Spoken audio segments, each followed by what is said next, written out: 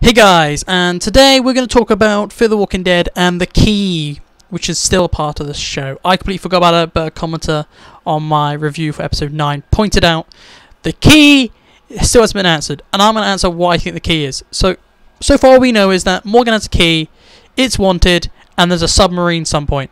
I think that the key is going to be connected to the submarine, and the key is going to be something like it's going to be able to unlock nuclear explosions or something. It's going to unlock a nuke. I think at some point in the show, near the season finale, they're going to find the submarine and they're going to put the key in the submarine and they're going to find a nuke. And it may be, this is changing my theory of what originally is going to happen to Morgan Town.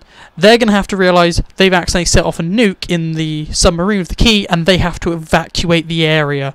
They kind of did this in season 5 though, but I don't put it past the writers to redo their work they did. Look at look at John's death, which is exactly the same as Nick's. I think they're going to copy their season five selves with this nuke in the submarine, like they did with the nuclear power plant. I think they're going to go to the nuclear uh, submarine, put it in, and that's what they're going to try and escape. That's what I think the key does. I think the key opens a nuke. What do you think? Tell me in the comments, and see you next time.